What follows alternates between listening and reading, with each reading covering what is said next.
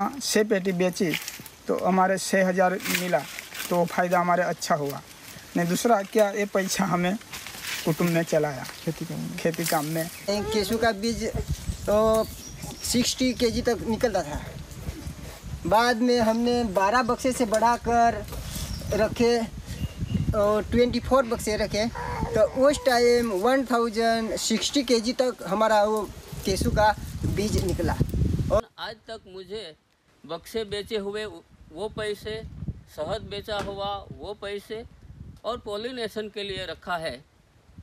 वो पैसे वैसे कुल मिलाकर आज तक मैं नब्बे हज़ार तक मधुमक्खी से मुझे मिला है।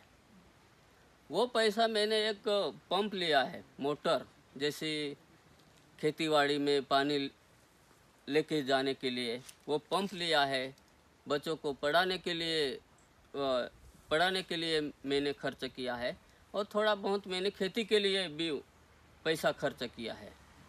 और थोड़ा बहुत मैं आगे के लिए मैंने बैंक में भी जमा करके रखा है।